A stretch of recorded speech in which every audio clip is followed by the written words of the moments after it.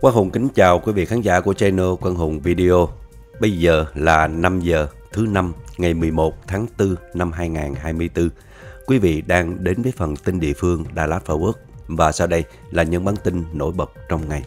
Cầu thủ của Kansas City đối mặt với 8 tội danh liên quan đến vụ tai nạn và bỏ trốn. Một cơn lốc xoáy quét qua phía tây quận Harris vào sáng sớm thứ Tư. Nghi phạm tấn công bằng búa ở Plano đã bị bắt giữ. Hai người nhập viện sau vụ tai nạn xe đi sai làn đường ở Irving.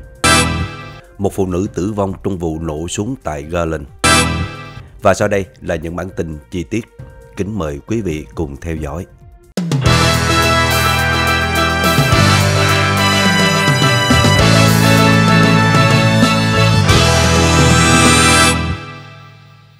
Cựu thị trưởng Richardson Laura Jordan bắt đầu thụ án 6 năm tù vì tội nhận hối lộ.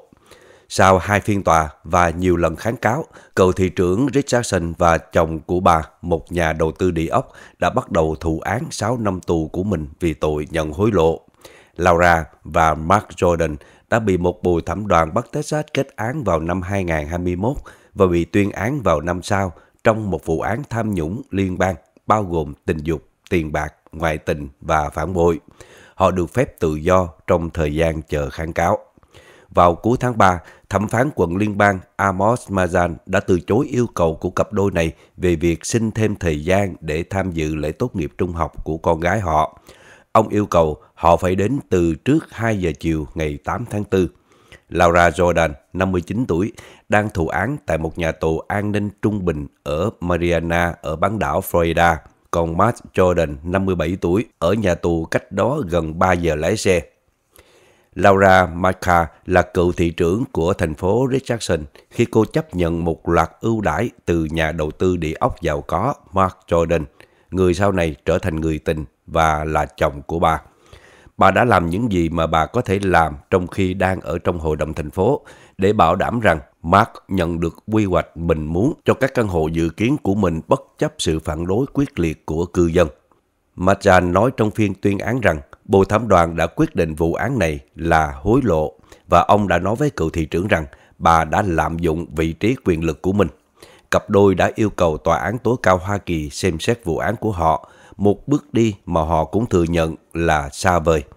Vụ án kéo dài gần một thập kỷ và dẫn đến một cuộc điều tra của thành phố cùng hai phiên tòa công khai nhiều scandal. Mark Jordan tìm cách phát triển một mảnh đất đắc địa trong thành phố của Laura dọc theo Freeway 75 của Hoa Kỳ, mặc dù khi vận động tranh cử với khẩu hiệu không xây thêm chung cư mới. Laura Jordan nhanh chóng thay đổi quan điểm về dự án chung cư này khi nhà đầu tư địa ốc bắt đầu tán tỉnh bà và tặng cho bà những món quà đắt tiền. Điều đó bao gồm ít nhất là 12 chuyến đi du lịch đến các vùng nhiệt đới, thường ở những nơi nghỉ dưỡng tuyệt vời với tầm nhìn hướng ra biển.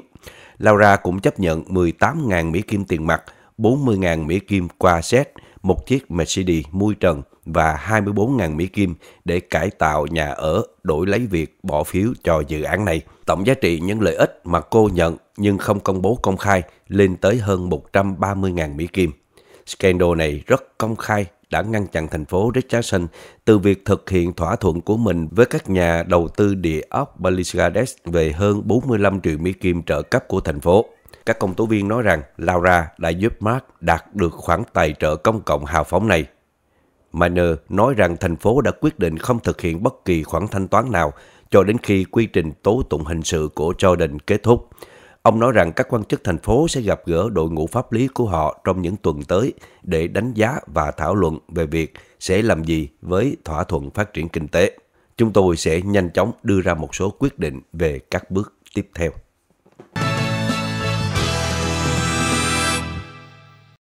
Cầu thủ của Kansas City Chiefs, Rashirai đối mặt với 8 tội danh liên quan đến vụ tai nạn gây tai nạn rồi bỏ trốn vào hồi tháng trước ở Dallas – khiến nhiều người bị thương.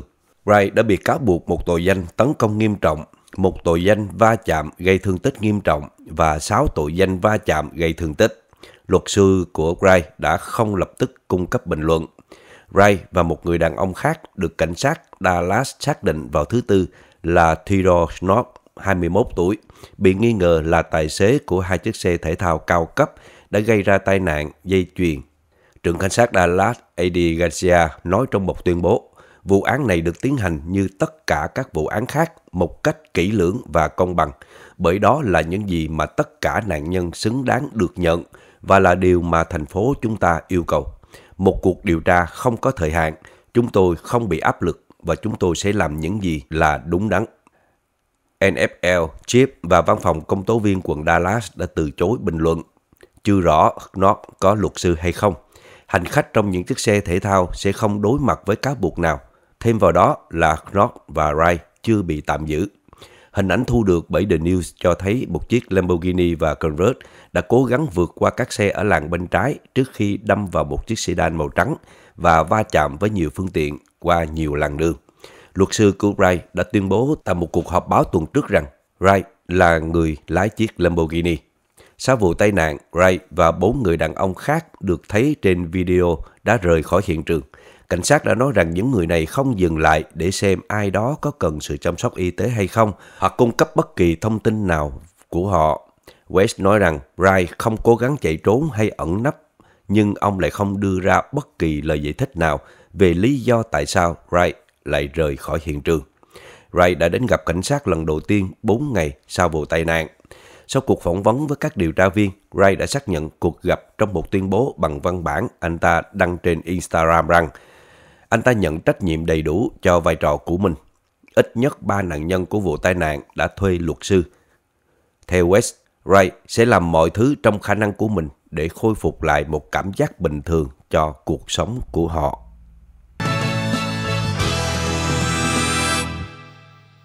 Một giáo viên trung học thuộc Medquick ISD đã bị bắt vào thứ Tư vì bị cáo buộc có mối quan hệ không phù hợp với một học sinh. Các quan chức cảnh sát Medquick đã được thông báo về thứ Sáu về một mối quan hệ không phù hợp tiềm ẩn giữa một giáo viên và một học sinh tại trường trung học Bromland, Vanguard, Theo thông báo báo chí của sở, Keith Jemnet, 32 tuổi, đã bị US Marshal bắt giữ. Jemnet đối mặt với cáo buộc một tội danh quan hệ không đúng mực giữa nhà giáo dục và học sinh – Hồ sơ của cảnh sát Mayquist cho thấy anh ta đã bị giam vào lúc gần 4 giờ chiều tại nhà tù địa phương. Jemnet làm việc trong chương trình xe hơi của trường và đã từ chức ngay sau khi biết về cuộc điều tra của cảnh sát. Phát ngôn nhân của Mayquist ISD là Laura Job đã viết một tuyên bố những hành động của ông Jimnet thật ghê tởm và đáng lo ngại và sẽ không được chấp nhận tại Mayquist ISD. Là những nhà giáo dục, ưu tiên hàng đầu của chúng tôi là sự an toàn và phúc lợi của học sinh. Bà cũng nói thêm rằng học khu đã hành động nhanh chóng với cảnh sát Mayquist để giải quyết vấn đề và cảm ơn sự phản hồi ngay lập tức và sự hỗ trợ liên tục từ phía cảnh sát. Bây giờ, chúng tôi sẽ chuyển sự tập trung vào việc chữa lành khi nhân viên và học sinh của trường tiếp tục bước qua trải nghiệm này. Một cơn lốc xoáy đã quét qua phía tây của quận Harwich vào sáng sớm thứ Tư vừa qua. Dịch vụ khí tượng quốc gia xác nhận rằng một cơn lốc xoáy ngắn với gió đạt đỉnh 90 mao một giờ đã gây ra thiệt hại. Điều này được thể hiện qua mức độ thiệt hại và cách mà các mảnh vụn rơi theo hình tròn. Một tòa nhà Firestone đã sụp đổ và cửa sổ phía trước của quán Bourbon Street Sport Bar bên kia bãi đậu xe đã bị thổi tung. Mảnh vụn được để lại trên khắp bãi đậu xe. Chuyên gia khí tượng trưởng tại NWS Hilton nói, Nhìn vào thiệt hại, chúng tôi khẳng định đây là một cơn lốc xoáy ngắn gọn. Thiệt hại xảy ra vào khoảng 3 giờ sáng tại một trung tâm thương mại nằm ngoài đường South Mason ở phía nam đại lộ Kingsland. Sức mạnh cực kỳ lớn của lốc xoáy đã được cảm nhận rõ ràng. Nhiều cư dân đã đứng lại và nhìn vào hậu quả này. Các quan chức cứu hỏa nói rằng đã có một rò rỉ khí nhỏ do thiệt hại. Điện cũng được tắt ở khu vực này như là một biện pháp phòng ngừa. Các quan chức nói rằng một nhân viên của Centerpoint, người đã phản ứng với hiện trường đã bị sốc nhẹ nhưng đã được điều trị tại hiện trường và được phép rời đi. Ba nhân viên đang ở trong quán bar thể thao vào thời điểm xảy ra lốc xoáy, nhưng họ không bị thương. Nghi phạm tấn công bằng búa ở Plano đã bị bắt giữ. Theo tin từ Plano, Cảnh sát Plano cho biết một người đàn ông mà họ tin là thủ phạm của một loạt các vụ tấn công vô cớ của Dallas W hiện đang bị giam giữ. Vào thứ Tư, cảnh sát Plano đã chia sẻ hình ảnh của nghi phạm, cho biết anh ta đã tấn công một nạn nhân bằng búa vào tối thứ Ba trên đường Khôi. Theo cảnh sát, anh ta đã đánh nạn nhân nhiều lần trước khi bỏ chạy khỏi hiện trường với chiếc búa trong tay. Cảnh sát cho biết nghi phạm phải chịu trách nhiệm về các vụ tấn công tương tự vô cớ xảy ra ở Dallas Fort Worth trong thời gian gần đây. Cơ quan chức năng thông báo về vụ bắt giữ vào sáng thứ Năm, nhưng không cung cấp thêm chi tiết nào về nghi phạm hoặc cách anh ta bị bắt giữ. Cảnh sát cho biết một bản cập nhật mới sẽ thêm thông tin được công bố ngắn gọn trong ngày gần đây. Hai người nhập viện sau vụ tai nạn xe đi sai làn đường ở thành phố Irving. Tin từ Irving, Texas, hai người đã phải nhập viện sau một vụ tai nạn xe đi sai làn đường ở Irving vào sáng sớm thứ Năm hôm nay. Cảnh sát Irving cho biết họ nhận được cuộc gọi từ cảnh sát Forward vào lúc 4 giờ 40 sáng, thông báo rằng một tài xế đã vào thành phố khi lái xe theo hướng đông trên làn đường đi về hướng tây của Freeway 183. Tài xế đi sai làn đường sau đó đã va chạm với một chiếc xe khác gần Exit và Valleyview. Cả hai tài xế của các xe đều đã được đưa đến bệnh viện. Một trong các tài xế được cho là trong tình trạng nguy kịch. Tháp rêu nhìn ở trung tâm Dallas sẽ tắt đèn qua đêm bắt đầu từ thứ năm hôm nay. Rêu nhìn tham gia vào một sáng kiến cùng với Liên minh Bảo tồn Texas nhằm bảo vệ các loài chim di cư. Từ ngày 11 tháng 4 cho đến ngày 12 tháng 5, đèn trên ngọn tháp nổi tiếng này sẽ được giảm xuống 50% công suất từ lúc hoàng hôn cho đến 11 giờ đêm và tắt hoàn toàn từ 11 giờ đêm đến 6 giờ sáng và trở lại công suất 50% từ 6 giờ sáng cho đến bình minh. Liên minh Bảo tồn Texas cho biết trong các tháng mùa xuân, nhiều loài chim di cư sẽ quay trở lại Mỹ sau khi trú ẩn vào mùa đông ở Mexico và Nam Mỹ và hàng trăm triệu con chim sẽ bay qua Texas.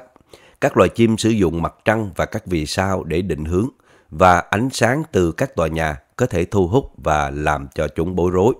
Theo Liên minh Bảo tồn Texas, đối với chim di cư, Dallas là thành phố nguy hiểm thứ ba, chỉ sau Chicago và Houston.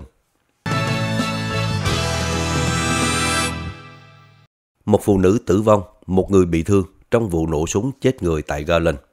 Tin từ Garland cho biết, người phụ nữ được xác định là Marquita Larson Mingo, 31 tuổi. Bà là cư dân của Dallas.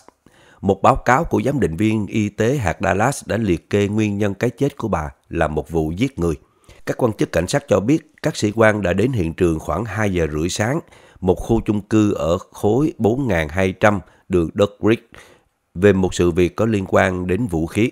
Nhân viên bộ phòng cháy chữa cháy Garland đã đến và đưa một nạn nhân đến bệnh viện với những thương tích nhẹ. Một người khác đã được đưa đến bệnh viện trước đó bằng xe cá nhân. Các quan chức của sở cảnh sát cho biết trong một thông cáo báo chí. Các sĩ quan được biết vụ việc bắt đầu với một sự rối loạn ở Dallas và kết thúc tại địa điểm ở Garland. Nhiều người đã tham gia vào cuộc ẩu đả và nhiều phát đạn được bắn từ hai khẩu súng. Hai người đã bị bắn và một người tử vong.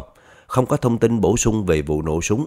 Các quan chức cảnh sát cho biết các nhà điều tra đang làm việc để xác định nguyên nhân dẫn đến vụ nổ súng. Và thêm một vụ nổ súng chết người ở Manfield, một vụ việc gia đình giữa vị hôn phu cũ và bạn trai của một phụ nữ đã dẫn đến một vụ nổ súng chết người vào thứ ba ở Manfield. Cảnh sát đã bắt giữ Stephen Shea Foster, 38 tuổi, liên quan đến vụ án mạng và anh ta đối mặt với các cáo buộc giết người, tấn công và làm giả chứng cứ. Anh ta bị giam giữ tại nhà tù Tarrant County và không rõ anh ta có luật sư hay không. Vào khoảng 9 giờ tối thứ ba, cảnh sát Mainfield đã được gọi đến một vụ nổ súng gần Spring Lake Parkway. Khi các sĩ quan đến nơi, họ đã tìm thấy một người đàn ông bị thương do đạn bắn và nghi phạm đã bỏ trốn khỏi hiện trường. Các sĩ quan đã thực hiện các biện pháp cấp cứu và người đàn ông được đưa đến bệnh viện, nơi anh ta đã qua đời vì vết thương. Người đàn ông được xác định là James William, 38 tuổi. Theo hồ sơ của giám định viên y tế hạt Thoiren, nguyên nhân cái chết của anh ta được liệt kê là một vết thương do đạn bắn vào ngực. Porter, người mà cảnh sát cho biết là vị hôn phu cũ của người phụ nữ, được xác định là nghi phạm. Các sĩ quan và thám tử đã tìm kiếm anh ta và đã bắt giữ anh ta tại một ngôi nhà ở Midlothian vào khoảng 11 giờ tối mà không gặp sự chống cự nào.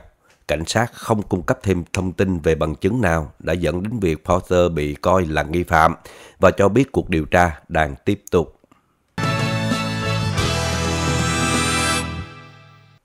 Một tiệm spa ở Plano bị cáo buộc mại dâm buôn người. các quan chức ở thành phố Plano đang tìm kiếm một lệnh của tòa án để điều tra một spa tại khu mua sắm mà họ tin là bình phong cho nạn mại dâm và buôn người. Trong các tài liệu tòa án nộp lên trong tháng 2 này tại hạt Collins, thành phố và cảnh sát đã cáo buộc Red Bros Spa quảng cáo cho việc bán thân xác của các cô gái trẻ để thu hút những khách hàng lệch lạc và gây nguy hiểm cho cộng đồng. Gọi Spa là một người môi giới tình dục ẩn nấp ngay trước mắt. Thành phố yêu cầu được điều tra chủ sở hữu Spa và nhân viên, chủ nhà, người cho thuê và khách hàng trước khi có thể khởi kiện. Thành phố nói trong tài liệu tòa án, công dân của Plano sống ở các khu phố lân cận đã chọn khu vực này vì môi trường ngoại ô an toàn của nó.